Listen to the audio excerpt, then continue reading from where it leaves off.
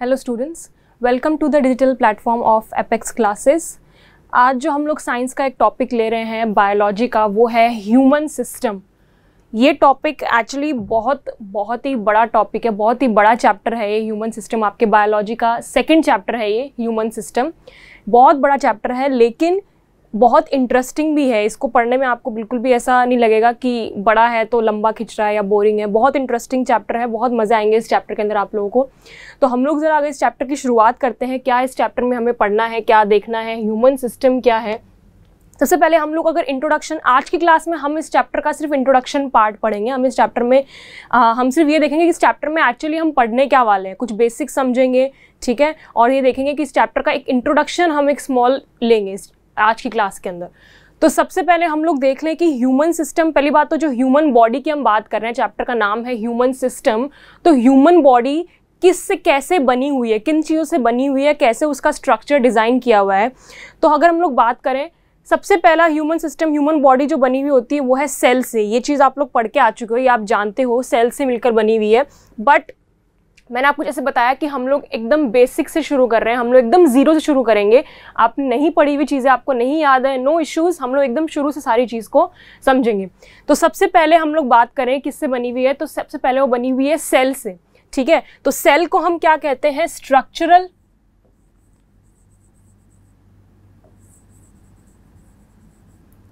and functional unit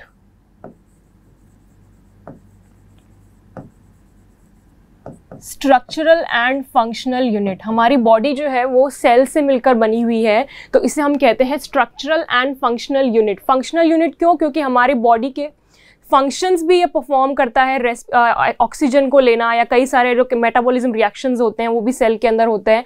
तो हमारी body की शुरुआत जो बनने से हो रही है, वो किससे हो रही है? सेल से। तो सेल को हम कहते हैं structural and functional unit of life now उसके बाद जाते हैं हम टिश्यूज़ पे। सेल जब दो या दो से ज़्यादा सेल या फिर हम कहें कि ग्रुप ऑफ़ सेल्स मिलकर क्या बनाते हैं? टिश्यूज़ ठीक है? तो ग्रुप ऑफ़ सेल्स टिश्यूज़ को अगर हमें डिफाइन करना हो, हम कहेंगे group of cells which perform similar function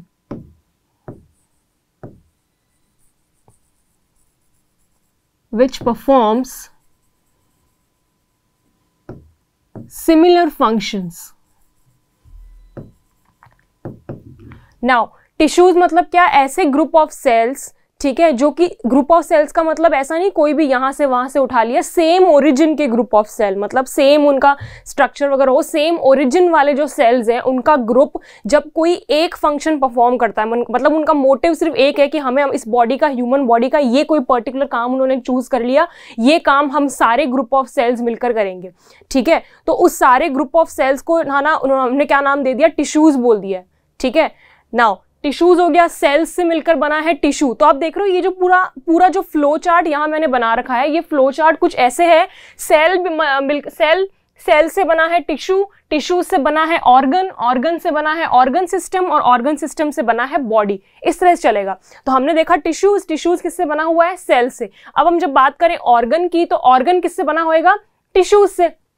तो आप क्या बोलोगे? Group of tissues which performs a particular function ऐसे ग्रुप ऑफ़ टिश्यूज जो मिलकर कोई एक फ़ंक्शन परफॉर्म करते हैं, दो या दो से ज़्यादा टिश्यू ग्रुप का मतलब जब भी हम बोलते हैं, दो या दो से ज़्यादा होगा ऑब्वियसली एक इंसान का तो ग्रुप होता नहीं है, एक चीज़ का ग्रुप नहीं होता ना कोई.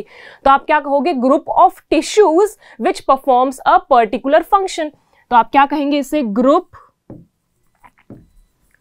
of tissues which performs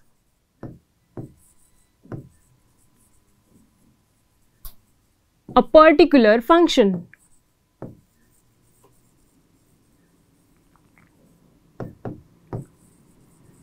अगर आपको इसका एग्ज़ाम्पल देना हो ऑर्गन का, हमारी बॉडी में ऑर्गन क्या है? हार्ट इज़ अ ऑर्गन हमारी बॉडी में जो हार्ट है, वो ऑर्गन है. लिवर इज़ एन ऑर्गन ठीक है स्टमक इज़ एन ऑर्गन ये सारी चीज़ें क्या है? हमारी बॉडी के अंदर ऑर्गन्स है। ये सब किससे मिलकर बनी हुई है? अलग अलग तरह के टिश्यूज से मिलकर बनी हुई है। और वो सारे जो टिश्यूज है, वो मिलकर कोई एक पर्टिकुलर फ़ंक्शन परफॉर्म करते हैं। जैसे हम हार्ट की बात करें हार्ट का काम है ब्लड को पंप करना। तो हार्ट के अंदर जितने भी टिश्यूज हैं, वो सब हार्ट को हेल्प कर रहे हैं ब्लड को पंप करने में। ठीक है? तो वो सारे टिश्यूज मिलकर क्या कर रहे हैं? हार्ट ब्लड पंप करवा रहे हैं। तो उन सारे टिश्यूज को इकट्ठा हमने क्या कह दिया? हार्ट या फिर वो एक ऑर्गन है जिसका नाम है हार्ट ठीक है? नाउ ऑर्गन से मिलकर, अब हमने पहले बोला टिश्यू से मिलकर बना है ऑर्गन अब हम कहेंगे ऑर्गन से मिलकर क्या बना हुआ है? Organ system now what is an organ system organ system फिर सेम डेफिनेशन बोलेंगे group of organs which performs a particular function उसे हम क्या कहेंगे? ऑर्गन एग्ज़ाम्पल दूँगी जो आपको समझ में आएगा क्लियरली क्या कहेंगे हम? Group group of organs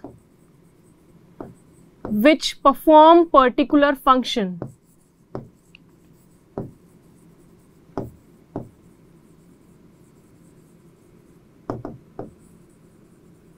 अब कोई एग्ज़ाम्पल अगर आप दें ऑर्गन सिस्टम का तो हम क्या कह सकते हैं आप कह सकते हो कि डाइजेस्टिव सिस्टम जो आज की क्लास में हम थोड़ा सा पढ़ेंगे भी इंट्रोडक्शन डाइजेस्टिव सिस्टम के अंदर जो डाइजेशन का काम है, वो बहुत सारे ऑर्गन्स मिलकर कर रहे हैं। तो जब बहुत सारे ऑर्गन्स मिलकर कोई एक काम को कर रहे हैं, उनका मोटिव है कि हमें ये डाइजेशन करवाना है। फॉर एग्ज़ाम्पल हम लोग लें स्टमक आ जाएगा डाइजेशन के अंदर, ठीक है? उसके अंदर स्मॉल इंटेस्टाइन आ जाएगी, उसके अंदर आपका माउथ है, सब ये सारी चीज़ें जो हैं, आपका ईसोफेगस है, ये सब मिलकर क्या करवा रहे हैं? डाइजेशन का काम करवा रहे हैं। ठीक है? तो जब ग्रुप ऑफ़ ऑर्गन्स या बहुत सारे ऑर्गन्स मिलकर कोई एक मोटिव है उनका कि हमको सबको मिलकर इस काम को करवाना है, ये पर्टिकुलर फ़ंक्शन बॉडी का परफॉर्म करना है तो हम उसे क्या कहेंगे? ऑर्गन सिस्टम और इसी तरह के ऑर्गन सिस्टम बहुत सारे ऑर्गन सिस्टम क्या मिलकर बनाते हैं? पूरी हमारी बॉडी बनाते हैं। तो हमारी एक बॉडी के अंदर बहुत सारे ऑर्गन सिस्टम होते हैं। जैसे मैंने एक एग्जांपल बताया डाइजेस्टिव सिस्टम इस तरह से बहुत सारे होते हैं। रेस्पिरेटरी सिस्टम होता है, जिसके अंदर रेस्पिरेशन होता है एक्सक्रीटरी सिस्टम होता है सर्कुलेटरी सिस्टम होता है एंडोक्राइन सिस्टम होता है नर्वस सिस्टम होता है रिप्रोडक्टिव सिस्टम होता है। तो इसी तरह के ये सारे जो मैंने सिस्टम बताए हैं, ये सारे सिस्टम किससे मिलकर बने हुए हैं? ऑर्गन से। बहुत सारे अलग अलग ऑर्गन्स वेरियस ऑर्गन्स मिलकर जब किसी एक फ़ंक्शन को परफॉर्म कर रहे हैं तो हमने उसे क्या कहा? ऑर्गन सिस्टम अगर मैं बात करूँ रेस्पिरेटरी सिस्टम तो रेस्पिरेटरी सिस्टम में भी हार्ट हो गई ब्लड वेसल्स हो गई, ये सब मिलकर क्या कर रहे हैं? एक सर्कुलेटरी सिस्टम को करने का काम कर रहे हैं। तो वो क्या हो गया? Organ system similarly respiratory system के अंदर लंग्स है नोज़ है, ये सब मिलकर रेस्पिरेशन करवा रहे हैं। रिप्रोडक्टिव सिस्टम के अंदर भी अलग अलग है। तो ये सारे ऑर्गन्स जब मिलकर किसी एक फ़ंक्शन को करवा रहे हैं हमने कहा ऑर्गन सिस्टम और ये सारे ऑर्गन सिस्टम जो मैंने नाम लिए रिप्रोडक्टिव रेस्पिरेटरी डाइजेस्टिव एक्सक्रीटरी वगैरह वगैरह सब वो, वो सारे मिलकर क्या बनाते हैं? बॉडी बनाते हैं। मतलब वो सारे सिस्टम जब होंगे प्रॉपरली तो आपकी बॉडी रहेगी एकदम प्रॉपर राइट right? तो ये आपका ह्यूमन सिस्टम को मैंने एक स्मॉल और ब्रीफ छोटे तरीके से, ये चीज़ ऐसा नहीं कि आप नहीं जानते हो बट द थिंग इज़ हम अब चैप्टर की शुरुआत कर रहे हैं तो हमको हर चीज़ शुरू से ही करनी है आपको नहीं आता, कोई बात नहीं, मैंने शॉर्ट में यहाँ पर पूरी चीज़ एक बार समझा दी है किस तरह से आपका रहेगा और ह्यूमन सिस्टम आपकी पूरी जो बॉडी है ह्यूमन बॉडी है, किस तरह से वर्क कर रही है सेल शुरुआत होती है सेल से सेल से मिलकर बने हैं टिश्यूज टिश्यूज से मिलकर बने हैं ऑर्गन ऑर्गन से मिलकर बना है ऑर्गन सिस्टम और ऑर्गन सिस्टम से बना है बॉडी, राइट? right? तो इस तरह से कुछ आपका ह्यूमन सिस्टम जो है वो वर्क करता है। Now, let's move on to the next thing. Now, what is life process? देखो, हम लोग को इस चैप्टर के अंदर एक्चुअली क्या पढ़ना है? हम लोग सेल टिश्यूज आप लोग नाइन्थ स्टैंडर्ड में पढ़ के आए हो। Various type of cell sorry, structure of cell cell के अंदर क्या क्या चीज़ें होती हैं ठीक है, उसके अलावा टिश्यूज अलग अलग तरह के टिश्यूज आप लोग जानते हो। इस चैप्टर के अंदर हम लोग, जो हम लोगों ने ये स्टेज मैंने यहाँ लिखे हैं ना सारे, इस चैप्टर के अंदर हमें पढ़ना है ऑर्गन्स और ऑर्गन सिस्टम के बारे में जो अलग अलग तरह के मैंने आपको सिस्टम बताया रेस्पिरेटरी एक्सक्रीटरी वगैरह वगैरह डाइजेस्टिव उन सारे सिस्टम्स को हमें वन बाय वन पढ़ना है। तो जरा टोटल बहुत सारे सिस्टम हैं तो इसलिए मैं कह रही हूँ चैप्टर बहुत बड़ा है, पर बहुत इंटरेस्टिंग है, बहुत मतलब मज़े आएँगे इस चैप्टर को समझने के अंदर, क्योंकि आप अपनी बॉडी के बारे में जान रहे हो, आपकी बॉडी के अंदर क्या है, क्या नहीं। तो ऑब्वियसली इंटरेस्टिंग तो लगेगा ही आप लोगों को। सुनाओ लाइफ प्रोसेस क्या है? सबसे पहले हम वो सारे सिस्टम देखेंगे बारी बारी उसके पहले हम जान लेते हैं लाइफ प्रोसेस क्या है। Maintenance of living organism is essential even if they are moving resting और इवन स्लीपिंग देखो, जैसे हमको पता है कि हमारी बॉडी का मेंटेनेंस बहुत ज़रूरी है, ठीक है? अगर आप उसका मेंटेनेंस नहीं होगा तो फिर दिक्कत हो जाएगी। अगर आप मतलब फॉर एग्जांपल अगर आप कहते हैं ना, लोग कि जो ज़्यादा फ़िज़िकल वर्क करता है, उसको एनर्जी चाहिए ज़्यादा। हाँ ठीक है, सही है, उसको एनर्जी चाहिए, उसको ज़्यादा अच्छा खाने की ज़रूरत है, सब करने की ज़रूरत है बट द थिंग इज़ अगर आप कुछ नहीं भी कर रहे हो काम मतलब अगर आप सो भी रहे हो, ठीक है, आप कोई फ़िज़िकल वर्क नहीं कर रहे हो तो भी आपकी बॉडी के अंदर बहुत सारे प्रोसेस चल रहे हैं। ठीक है? तो आपकी बॉडी को हर चीज़ की रिक्वायरमेंट है। आपकी बॉडी को ऑक्सीजन की रिक्वायरमेंट है। आपकी बॉडी को फ़ूड की रिक्वायरमेंट है। आपकी बॉडी को ज़रूरत है कि वो जो फ़ूड जो है, वो सारे बॉडी पार्ट्स तक पहुँचना भी चाहिए। ठीक है? मतलब ट्रांसपोर्टेशन उसका होना चाहिए। आपकी बॉडी से ही ज़रूरत, आपकी बॉडी को ये भी ज़रूरत है कि बॉडी के अंदर जो भी गंदगी है या जो भी वेस्ट है, वो भी निकलना चाहिए। तो इतने सारे काम आपकी बॉडी के अंदर होने चाहिए। सारे काम है क्या एक्चुअली मेंटेनेंस ही तो है। मतलब आपकी बॉडी को मेंटेन करने के लिए अगर मेंटेनेंस प्रॉपर नहीं होएगा धीरे धीरे करके बॉडी खराब होती जाएगी, खराब होती जाएगी और उसके बाद खत्म राइट तो आपकी बॉडी के अंदर सारे प्रोसेस होने ज़रूरी है। तो ऐसे process the process is which together perform the function of maintenance of life note this word हमारी जो लाइफ के लिए मेंटेनेंस के लिए जो प्रोसेस इंपॉर्टेंट है, उन्हें हम कहते हैं लाइफ प्रोसेसेस ये सारे हैं लाइफ प्रोसेस है जैसे डाइजेस्ट डाइजेशन हो गया इंपॉर्टेंट है। ठीक है डाइजेशन क्यों इंपॉर्टेंट है? फ़ूड जा रहा है फ़ूड को हमें डाइजेस्ट करना है ताकि उससे एनर्जी मिल सके बाद में। रेस्पिरेशन इंपॉर्टेंट है ऑक्सीजन चाहिए हमें। सर्कुलेटरी सिस्टम इंपॉर्टेंट है। अब ले तो लिया हमने फ़ूड और ऑक्सीजन पर उनको सारे बॉडी पार्ट्स तक पहुँचाएगा कौन? कौन पहुंचाएगा? ब्लड पहुंचाएगा? हार्ट पहुंचाएगा? पंप करके? तो हमें वो भी ज़रूरी है। तो ये सारे हैं लाइफ प्रोसेस जो हमारी बॉडी को मेंटेन करने के लिए या सर्वाइव करने के लिए हमें ज़रूरी होते हैं। Now let's move on to the organ system मैंने यहाँ सारे ऑर्गन सिस्टम लिख लिए हैं. Various system working in the human body are इन सारे ह्यूमन बॉडी को हम लोग जरा एक बारी देख लेते हैं क्या क्या है. हम इन सबको डिटेल में सबको पढ़ेंगे. एक एक को पकड़ के हम सबको पढ़ेंगे डिटेल में. पर आज की क्लास आपकी सिर्फ़ इंट्रोडक्टरी क्लास है तो हम पूरा चैप्टर का इंट्रोडक्शन देख लें हम क्या क्या इसमें पढ़ने वाले हैं. और थोड़ा सा हम शुरुआत कर लेंगे डाइजेस्टिव सिस्टम की भी. ठीक है? Various systems working in the human body are कौन कौन से सिस्टम है? सबसे पहला है डाइजेस्टिव सिस्टम बारी बारी हम लोग नाम लेंगे, उनके बारे में थोड़ा समझ लेंगे. इंट्रोडक्शन छोटा सा. डाइजेस्टिव सिस्टम आपकी बॉडी के अंदर फ़ूड आ रहा है. न्यूट्रिशन चाहिए आपको. ठीक है? न्यूट्रिशन मतलब क्या होता है? फ़ूड को बॉडी के अंदर लेना और उसे यूटिलाइज करना. अब आपने ले लिया, ठीक है? लेकिन लेने के बाद में आपकी बॉडी को चाहिए कि वो जो आप फ़ूड ले रहे हो ना, वो बहुत ही कॉम्प्लेक्स फ़ूड है. ठीक है? मतलब हम फ़ूड ले क्यों रहे? पहली बात तो मेन एम क्या है आपका फ़ूड लेने का? क्या मेन एम है? आपको एनर्जी चाहिए। आपकी बॉडी के अंदर बहुत सारे प्रोसेस हो रहे हैं। उन सारे प्रोसेस को होने के लिए चाहिए हमें एनर्जी एनर्जी कौन देगा? हमें फ़ूड देगा। बट द थिंग इज़ सिर्फ़ फ़ूड को अंदर लेने से एनर्जी नहीं मिलेगी। उस फ़ूड को एनर्जी लेने लायक बनाना भी पड़ेगा हमें। एनर्जी लेने लायक बनाने से मेरा क्या मतलब है? जो फ़ूड आप अपने माउथ में ले रहे हो या अपनी बॉडी के अंदर इनटेक कर रहे हो, वो फ़ूड कॉम्प्लेक्स फ़ूड है। ठीक है? कॉम्प्लेक्स मतलब उसका साइज़ बहुत बड़ा है मतलब उससे एनर्जी रिलीज़ नहीं हो सकती। तो एनर्जी रिलीज़ करवाने की तो बात बात में है मतलब उसको तो हम बाद में देखेंगे। पहले उस फ़ूड को एनर्जी देने लायक बनाओ तो सही। वो फ़ूड आपका सिंपल होना चाहिए, वो स्मॉलर पार्टिकल्स में कन्वर्ट होना चाहिए। तो डाइजेशन क्या है? डाइजेस्टिव सिस्टम है फ़ूड को कॉम्प्लेक्स फ़ूड को सिंपल फ़ूड में कन्वर्ट करने के प्रोसेस को हम क्या कहते हैं? डाइजेस्टिव सिस्टम कहते हैं। कोई एनर्जी रिलीज़ नहीं हो रही है यहाँ, सिर्फ़ फ़ूड को हम क्या कर रहे हैं? सिंपलर सब्सटेंस में कन्वर्ट कर रहे हैं ताकि हमारी बॉडी उससे एनर्जी बना सके। ठीक है? तो जो हम डायरेक्ट इनटेक कर रहे हैं, इसीलिए हमारी बॉडी का डाइजेशन बहुत इंपॉर्टेंट है। और एक और रोल ये भी होता है सिस्टम का कि जो अननेसेसरी चीज़ है, जो हमारी बॉडी के अंदर आ गई है, जिसकी रिक्वायरमेंट नहीं थी या जो हमारी बॉडी के लिए अगर रहेगी बॉडी के अंदर तो हार्मफुल हो सकती है, उसको बाहर भी निकालता है। मतलब जो यूजफुल चीज़ें हैं, उनको रख लेंगे और जो यूजफुल नहीं है, उनको क्या कर देंगे? बाहर निकाल देंगे। राइट? तो डाइजेस्टिव सिस्टम सिर्फ़ क्या है? डाइजेस्टिव सिस्टम सिर्फ़ है जो आपके फ़ूड जो आप बॉडी के अंदर ले रहे हो, उसको एनर्जी देने लायक बनाना, या फिर हम प्रॉपर अगर डेफिनेशन बोले the process in which complex food is converted into simpler substances या simple food, that process is known as digestive system. Right? Now, next. Respiratory system. आपने फ़ूड को सिंपलर सब्सटेंस में कन्वर्ट तो कर दिया। ठीक है? सिंपलर सब्सटेंस में कन्वर्ट होने के बाद हमारा मेन एम था क्या फ़ूड को लेने का? एनर्जी लेने का। तो वो जो फ़ूड हमने सिंपलर सब्सटेंस में कन्वर्ट कर दिया है डाइजेस्टिव सिस्टम में हो गया वो काम, अब उससे एनर्जी हमें बनानी है। और एनर्जी तभी बनेगी जब फ़ूड के साथ में रिएक्शन होगी ऑक्सीजन की।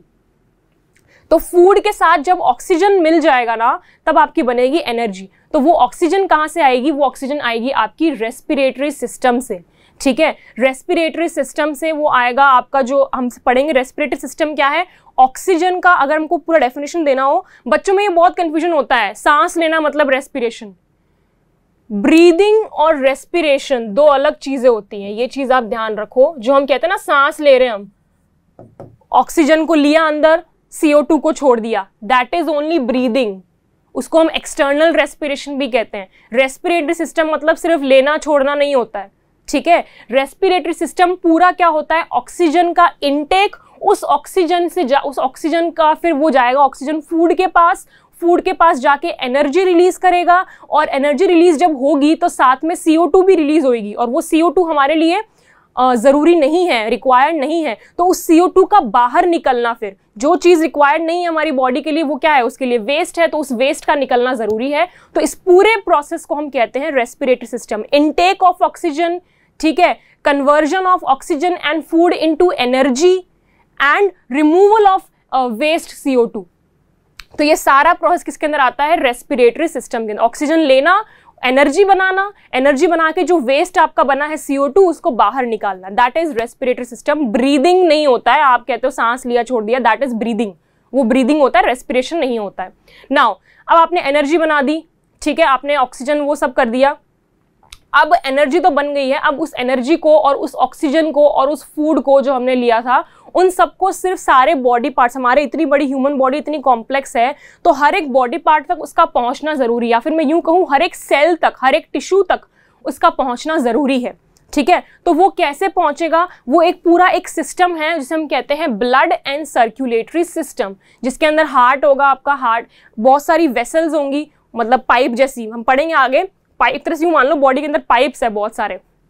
तो उन पाइप से वो फ़ूड है या ऑक्सीजन है या एनर्जी है, वो सब के सब कहाँ जा रही है? सारे बॉडी पार्ट्स तक, सारे टिश्यूज तक जाएगी। अब उनको भेजेगा कौन? मतलब जैसे आपको घर में पानी चढ़ाना होता है ऊपर टंकी पर तो आपको मोटर चलानी पड़ती ना उसको ऊपर ले जाने के लिए पानी को। तो सिमिलरली हमारी बॉडी के अंदर भी एक मोटर है, जो वो ब्लड को सारे बॉडी पार्ट्स तक पहुँचा रही है। मोटर कौन है? वो हार्ट हार्ट क्या करेगी? ब्लड को पंप करेगी और सारे बॉडी पार्ट्स तक पहुंचाएगी। राइट? नेक्स्ट एक्सक्रीटरी सिस्टम ठीक है, पहुँच गया, सब ब्लड ऑक्सीजन मिल गया, सारे बॉडी पार्ट्स को उन्होंने यूज़ कर लिया, उसको अपना काम भी कर लिया। अब जब इतने सारे प्रोसेस बॉडी में हो रहे हैं तो गंदगी भी निकलेगी वेस्ट भी निकलेगा उस वेस्ट को निकालना removal of waste products from our body is excretory system वैसे तो एक्सक्रीटरी सिस्टम बहुत सारे होते हैं हमारी बॉडी के अंदर। मतलब एक्सक्रीशन बहुत अलग अलग तरह से होता है, ठीक है? हमारी बॉडी जो स्वेट करती है, पसीना आता है, वो भी एक एक्सक्रीशन का मेथड ही है बॉडी से गंदगी निकल रही है, ठीक है? मतलब बहुत सारे, लेकिन मेन जो सबसे बड़ा, हम लोग इसको पढ़ेंगे कौन कौन से हैं, लेकिन जो मेनली जो एक्सक्रीटरी सिस्टम है, वो आपका है किडनी वाला, ठीक है? किडनी हो गया ब्लैडर हो गया वो पूरा है तो किडनी क्या करती है? ब्लड को फ़िल्टर करती है ब्लड को फ़िल्टर करके उस जो वेस्ट है, जो प्योर ब्लड है, उसको तो वापस बॉडी में भेज देगी और जो गंदगी उसमें से निकली है, ठीक है, उन सबको बॉडी से बाहर निकाल देगी। ठीक है? Next is reproductive system reproductive system जो है, अब मैं पहले आपको चीज़ बता दूँ कि यहाँ तक जो चार सिस्टम मैंने लिखे हैं ये। अगर मैं बोलूँ, इसको मैं हटा रही हूँ ब्रीदिंग आप समझ गए होंगे कि ब्रीदिंग और रेस्पिरेटरी सिस्टम जो है both are different things now यहाँ तक जो मैंने चार सिस्टम लिखे हैं, ये चार सिस्टम आपके हैं लाइफ प्रोसेस और ये भी.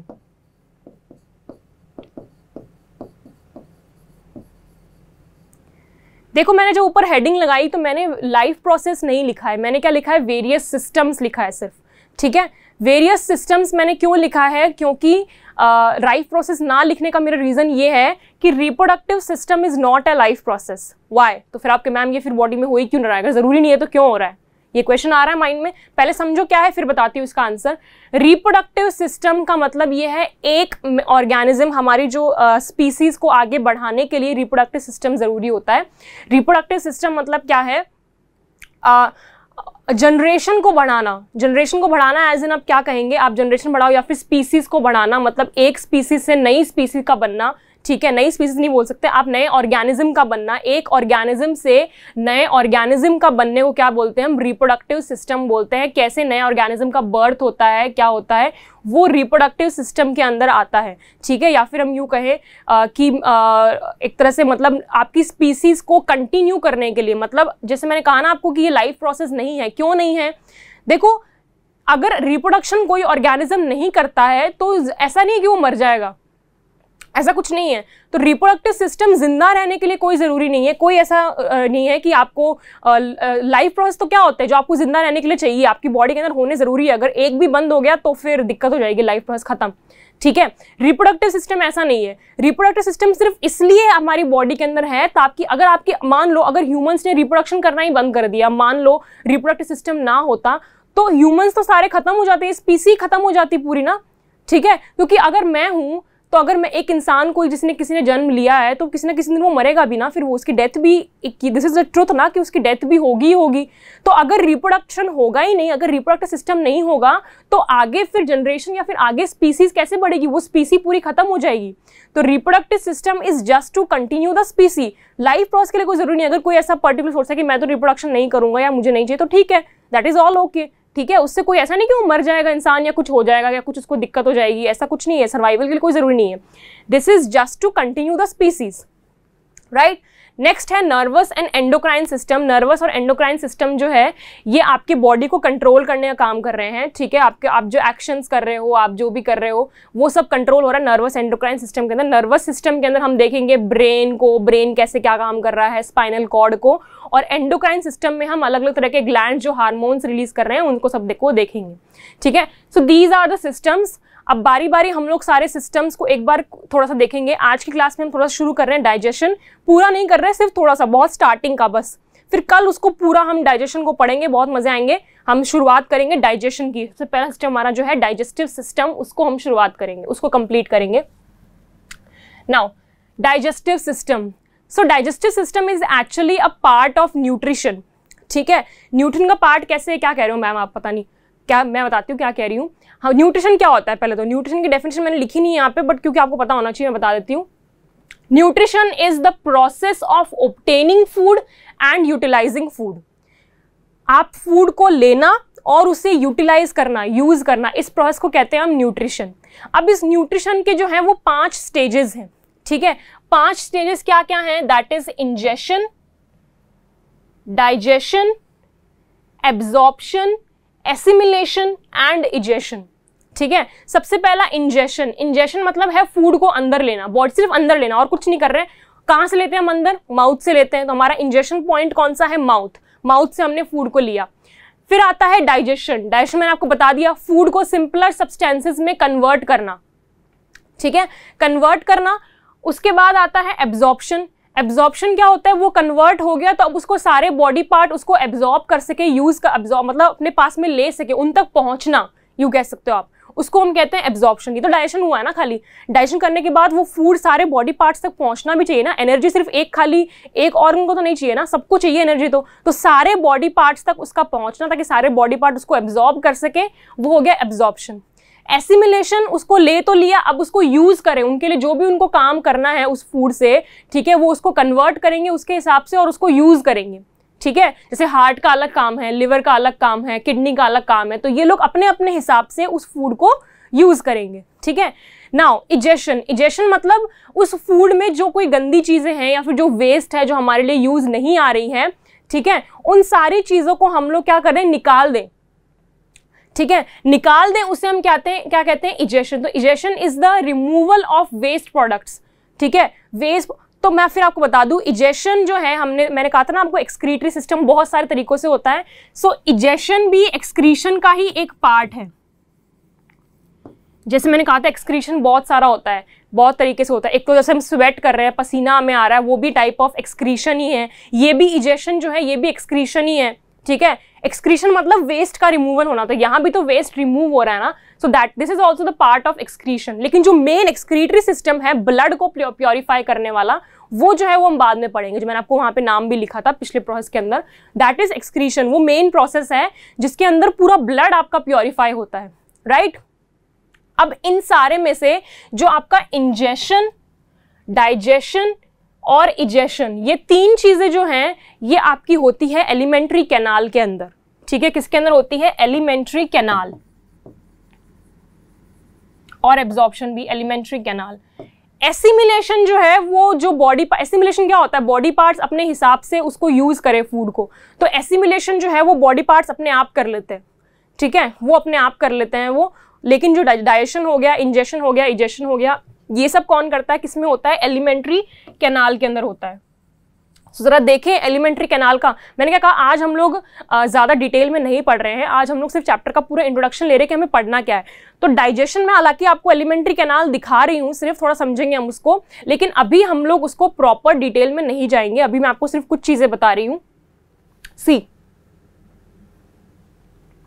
this is your alimentary canal सिर्फ़ डायग्राम देख के आज की क्लास में आप खुश हो जाओ। इसमें बहुत सारी डिटेल्स है जिसको हम कल की क्लास में स्टडी करेंगे। तो आज की क्लास क्योंकि आपकी सिर्फ़ इंट्रोडक्टरी क्लास है सो हम उसके हिसाब से इंट्रोडक्शन देख रहे हैं सिर्फ़। ठीक है? सुनाओ इंट्रोडक्शन के हिसाब से अगर हम देखें this is your alimentary canal alimentary canal मतलब यहाँ पर आपके प्रोसेस होते हैं इंजेशन डाइजेशन एब्जॉर्प्शन और इजेशन ये चार प्रोसेस जो हैं, इस एलिमेंट्री कैनाल के अंदर होते हैं राइट right? इस एलिमेंट्री कैनाल के अंदर होते हैं नाउ क्या क्या प्रोसेस तरह वो हम देख लेते हैं। सबसे पहले मैं आपको कुछ चीज़ें समझाना चाहती हूँ। हम प्रोसेस पूरा कल देखेंगे कि कौन से हमने क्या कहा था कि कोई भी सिस्टम जो होता है, वो ऑर्गन से मिलकर बनता है। तो ये भी एक ऑर्गन सिस्टम है। इसमें भी बहुत सारे ऑर्गन्स हैं। जब हम इसको डिटेल में स्टडी करेंगे तो सारे ऑर्गन्स को डिटेल में स्टडी करेंगे। स्टमक में कैसे हो रहा है? इंटेस्टाइन में कैसे हो रहा है? माउथ में कैसे हो रहा है? लेकिन अभी के लिए मैं कुछ इंट्रोडक्शन बता दूँ आपको।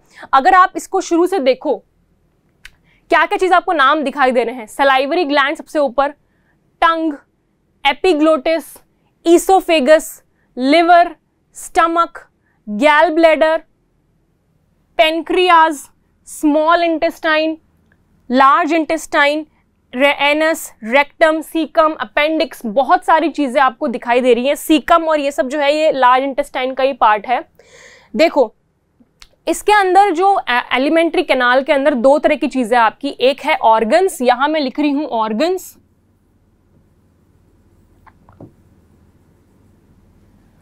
ठीक है? और यहाँ मैं लिख रही हूँ glands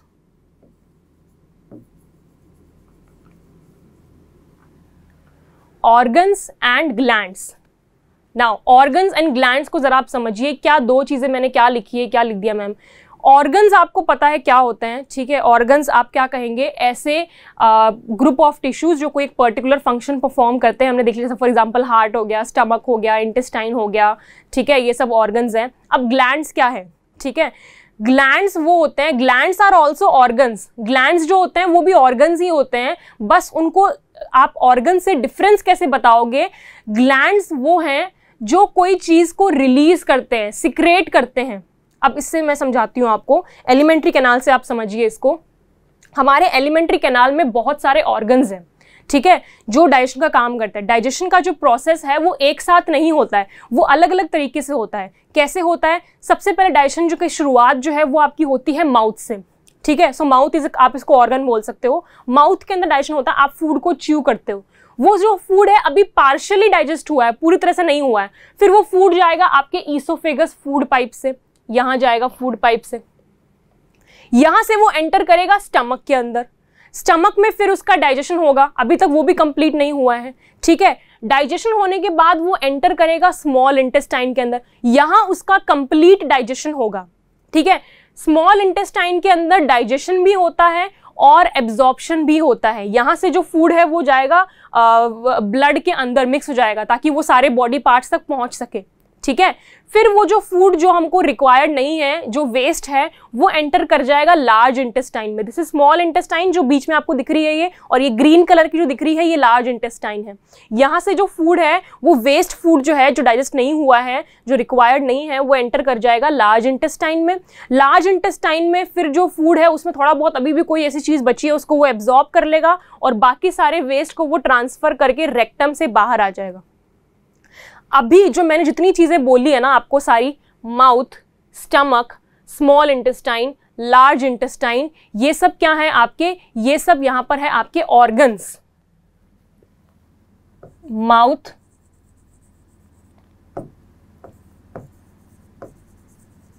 stomach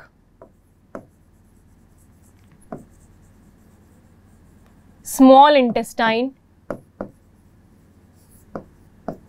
large intestine और ये फ़ूड पाइप भी जहाँ से जाएगा। दिस इज़ ईसोफेगस इसे आप ऑर्गन बोल भी सकते हो कि यहाँ पर कोई डाइजेशन हो नहीं रहा है ईसोफेगस में बट स्टिल अब ग्लैंड्स क्या हैं? इन सारे ऑर्गन्स के अंदर जो मैंने अभी आपको नाम लिए, ठीक है, इन सारे ऑर्गन्स के अंदर डाइजेशन अपने आप नहीं होता है। डाइजेशन के लिए कुछ केमिकल्स या कुछ एंजाइम्स जो हैं, वो रिलीज़ करनी पड़ती है। ठीक है? वो एंजाइम्स कौन रिलीज़ करता है? व या फिर वो केमिकल्स कौन रिलीज़ करता है? ग्लैंड्स करता है। जैसे कि है लिवर ठीक है? लिवर जो है वो बाइल जूस को रिलीज़ करता है स्टमक के अंदर। पेनक्रियास पेनक्रियाटिक जूस को रिलीज़ करता है। ठीक है? यहाँ पर गैल ब्लैडर है, इसके अंदर वो बाइल जूस जो है वो स्टोर होता है। तो ये सारे क्या है? आपके ग्लैंड्स है। यहाँ माउथ के अंदर सलाइवरी ग्लैंड्स होता है, जो सलाइवा रिलीज़ करता है। ठीक है? ये सारे क्या हैं? ग्लैंड्स वो हैं तो मैं आपको समझाऊं, अगर डाइजेस्टिव सिस्टम के हिसाब से ग्लैंड्स में बताऊँ, पहली बात तो ग्लैंड्स वो होते हैं जो कोई चीज़ को रिलीज़ कोई केमिकल्स या एंजाइम को रिलीज़ करते हैं। एंजाइम बोलो या फिर उसको बोलेंगे हम हार्मोन ठीक है? तो ग्लैंड्स दो तरह के होते हैं एक्चुअली एक्सोक्राइन और एंडोक्राइन एंडोक्राइन ग्लैंड्स जो है, वो हम पढ़ेंगे बाद में। जो हमने लिखा था ना नाम याद करो नर्वस एंड एंडोक्राइन सिस्टम वहाँ पर आते हैं एंडोक्राइन ग्लैंड्स वहाँ हम पढ़ेंगे बाद में। अभी जो यहाँ पर जो ग्लैंड्स के मैंने नाम लिए हैं वो सब क्या है? एक्सोक्राइन ग्लैंड्स एक्सोक्राइन ग्लैंड्स जो हैं वो एंजाइम्स रिलीज़ करते हैं। किसके लिए? डाइजेशन के लिए। सो so, अब ग्लैंड्स को एक्सोक्राइन ग्लैंड्स एंडोक्राइन ग्लैंड्स मुझे अभी नहीं पता मैं बाद में देखूँगी। ठीक है, हम जब पढ़ेंगे, अभी हम क्या बोल रहे हैं? एक्सोक्राइन ग्लैंड को मुझे अगर डिफाइन करना हो तो मैं ये कहूँगी exocrine glands are those organs organs ही है ये, पर ये फ़ंक्शन अलग परफॉर्म कर रहे हैं।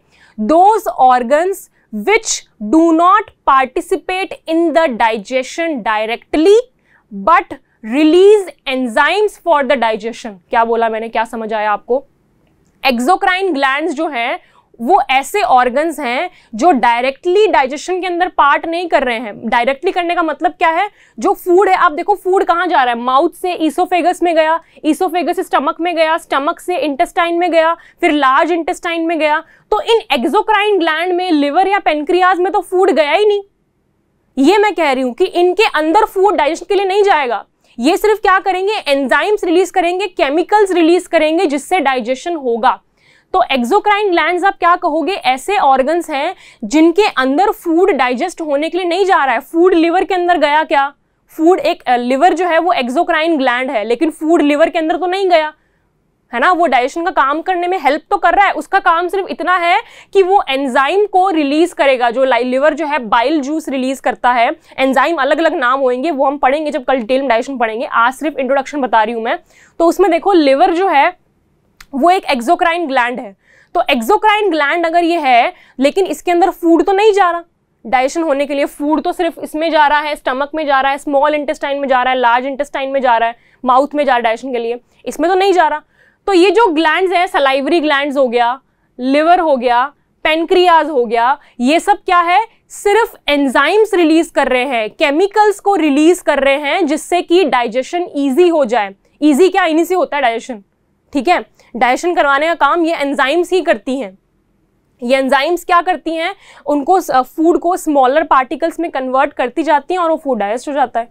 ठीक है? तो ग्लैंड्स एक्सोक्राइन ग्लैंड्स आप क्या करोगे? Exocrine glands are those glands जो डाइजेशन के अंदर डायरेक्टली पार्टिसिपेट नहीं कर रहे। डायरेक्टली पार्टिसिपेट करने से मेरा क्या मतलब है? कि फ़ूड जो है ग्लैंड्स के अंदर नहीं जा रहा है। लेकिन वो ग्लैंड सिर्फ़ क्या कर रहे हैं? एंजाइम्स को रिलीज़ कर रहे हैं। एंजाइम को रिलीज़ कैसे करेंगे? ये लिवर जो है, अपना जो एंजाइम है, वो इसके अंदर रिलीज़ कर देगा यहाँ। ठीक है? इंटेस्टाइन के अंदर रिलीज़ कर देगा। तो इंटेस्टाइन के अंदर ये देखो, यहाँ ये हेल्प किसकी कर रहा है? इंटेस्टाइन की हेल्प कर रहा है। यहाँ से अपना बाइल जूस रिलीज़ करेगा, वो कहाँ जाएगा? इंटेस्टाइन के अंदर जाएगा।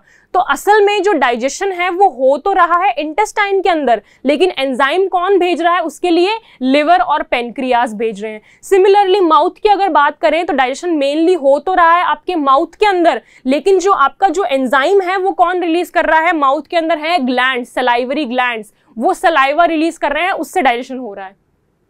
Clear so this is just an introduction ये इस तरह से कुछ आपको मैंने डिफरेंस बता दिया है। डाइजेस्ट सिस्टम होता क्या है वो? हमने ये डायग्राम दे, देख लिया है। कल फिर देखेंगे हम क्योंकि कल हमको डिटेल में एक एक ऑर्गन को पकड़ के माउथ समझेंगे हम। ईसोफेगस के अंदर एपिग्लोटिस समझेंगे। स्टमक के अंदर कैसे डाइजेशन हो रहा है। और कौन क्या क्या एंजाइम्स रिलीज़ हो रही है इसके अंदर? इंटेस्टाइन में क्या डाइजेशन हो रहा है और क्या एंजाइम्स रिलीज़ हो रही है? लार्ज इंटेस्टाइन में क्या हो रहा है? सब हम स्टेप बाय स्टेप सारी चीज़ को देखेंगे और समझेंगे कि क्या हो रहा है। सो so, आज की क्लास में हम लोगों ने क्या क्या चीज़ देखी? हमने ह्यूमन सिस्टम का पूरा इंट्रोडक्शन देखा है। इंट्रोडक्शन मतलब ह्यूमन सिस्टम पहले तो कैसे बना है? सेल टिश्यूज़ ठीक है ऑर्गन ऑर्गन सिस्टम और बॉडी इस तरह से जा रहा है। उसके बाद में हमने देखे कि लाइफ प्रोसेस क्या होते हैं, ठीक है, जो हमारी लाइफ को मेंटेन करने के लिए चाहिए होते हैं। वेरियस सिस्टम हमने देखे कौन कौन सिस्टम थे डाइजेस्टिव सिस्टम इंट्रोडक्शन सिर्फ़ उनका डेफिनेशन समझा हमने कि होता क्या है उसमें। डाइजेस्टिव सिस्टम ठीक है, उसके बाद में आपने क्या पढ़ा था रेस्पिरेटरी सिस्टम उसके बाद में सर्कुलेटरी सिस्टम एक्सक्रीटरी सिस्टम ठीक है reproductive system nervous and endocrine system ठीक है, इसके बाद में हमने बोला कि रिप्रोडक्टिव सिस्टम जो है वो लाइफ प्रोसेस के अंदर नहीं होता है क्योंकि वो सर्वाइवल के लिए ज़रूरी नहीं है। ठीक है डाइज हमने न्यूट्रिशन की बात करी, उसमें इंजेशन डाइजेशन एब्जॉर्प्शन एसिमिलेशन और इजेशन ठीक है, उसमें से इंजेशन डाइजेशन एब्जॉर्प्शन और इजेशन जो है वो होता है आपका एलिमेंट्री कैनाल के अंदर। ये आपका एलिमेंट्री कैनाल है पूरा और जो एसिमिलेशन है वो बॉडी ऑर्गन्स अपने आप कर लेते हैं। मतलब उनको एसिमिलेशन मतलब क्या होता है? यूज़ करना ना तो वो यूज़ तो अपने आप कर लेंगे अपने हिसाब से वो, ठीक है? इसके अंदर हम लोगों ने आज की क्लास में हमने डाइजेशन सिस्टम के अंदर हमने डिफरेंस देखा ऑर्गन्स और ग्लैंड्स के अंदर। ऑर्गन्स वो है जहाँ पर फ़ूड डाइजेशन के लिए डायरेक्टली जाता है। ये ईसोफेगस मैंने लास्ट में लिखा है, ये माउथ के बाद यहाँ पर आता है, ठीक है? माउथ से ईसोफेगस में जाएगा, फिर स्टमक में, फिर स्मॉल इंटेस्टाइन फिर लार्ज इंटेस्टाइन के अंदर, ठीक है?